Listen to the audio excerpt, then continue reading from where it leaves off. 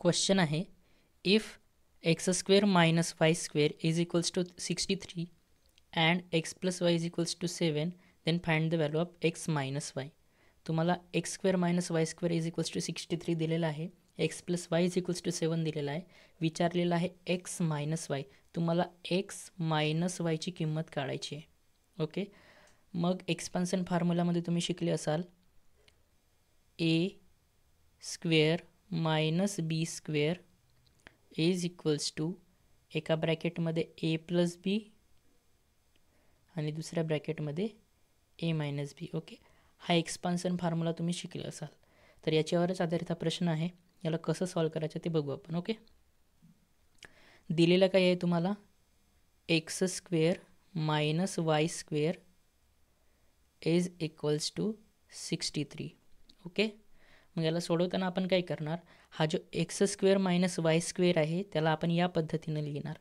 आता समजा की एच्या ठिकाणी एक्स आहे बीच्या ठिकाणी वाय आहे, ठीक आहे? म्हणजे हा X square minus Y square आहे असं समजा. ओके? कसं लिहिणार त्याला? एका ब्रॅकेटमध्ये एक्स प्लस वाय, दुसऱ्या ब्रॅकेटमध्ये X minus Y.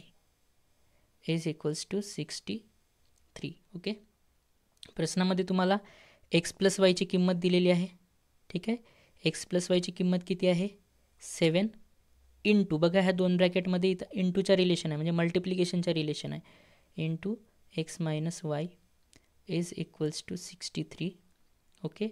मग सेवन इथं मल्टिप्लिकेशनमध्ये आहे आपल्याला किंमत कशाची पाहिजे? फक्त एक्स मायनस वायची. तर हा इथं मल्टिप्लिकेशनमध्ये आहे याला मी इकडे नेतो. इक्वल टू साईनच्या राईट साईडला ओके? तर तो काय जाणार? डिवाईडमध्ये जाणार.